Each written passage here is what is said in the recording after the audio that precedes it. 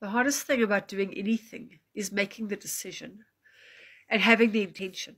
If I decided I'm going to go overseas, the hardest part about going overseas is booking my ticket. Because once I've done that, everything else lines up and things start to fall into place. The hardest decision you to make is do I choose me or do I choose my career or do I choose my relationship?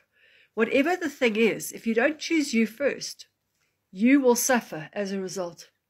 So if you're in a relationship where you're not being treated well, as soon as you make the decision that I need to be there for me, everything else will fall into place. You've got to make the decision. And it's taking a mental leap of faith. And it might take you a month to leave. It might take you a day to leave. And it might take you like it took me six years to leave. But oh, leave I did. And you can do it too. And as soon as you do that, you can start seeing the world from the other side because the grass is different on the other side.